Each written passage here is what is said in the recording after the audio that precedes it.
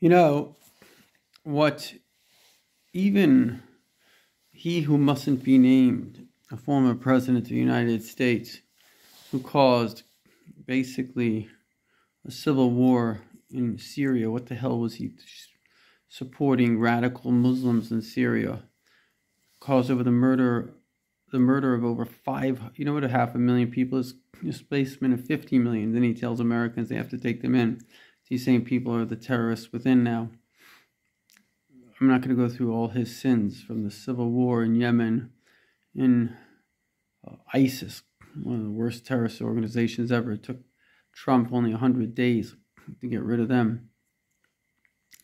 It's it's unbelievable but when you think deeply into it what's really going on is that its evil needs to propagate itself. Everything in the universe wants to propagate itself. And we are the we are at the center of this cosmic war, if you want to call it Star Wars, between good and evil.